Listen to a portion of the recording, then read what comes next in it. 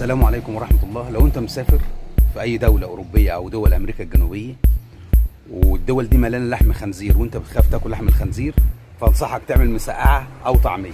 أنا النهاردة عملت مسقعة. إزاي إنك تعمل مسقعة؟ ماشي؟ البتنجان والبطاطس وكل حاجة والبهارات. يلا بينا نشوف هنعملها إزاي.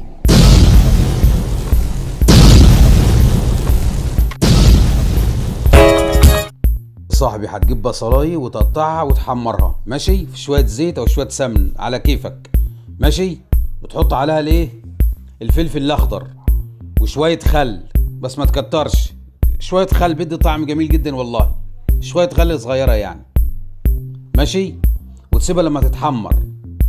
ما تتحرقش يعني تتحمر. وتجيب الصلصة بتاعتك وتحطها عليه ماشي؟ هتحط مع الصلصة إيه بقى؟ البهارات بتاعتك. ماشي؟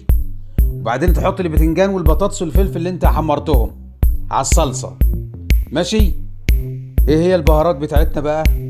فلفل أسمر وتوم بودرة وبصل بودرة وكمون ومكعب ماجي. ماشي؟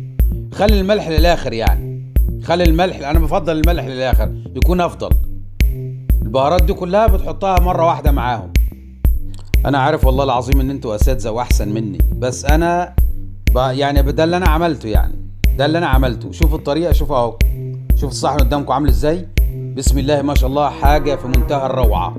لأن أنا رحت مطعم قبل كده وجاب لحم خنزير بالغلط وأنا مكد عليه ما باكلش خنزير.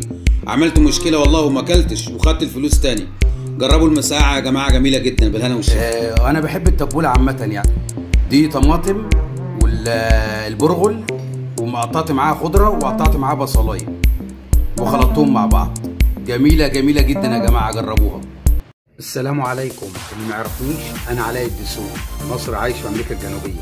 اشتركوا في القناة هنلف العالم مع بعض.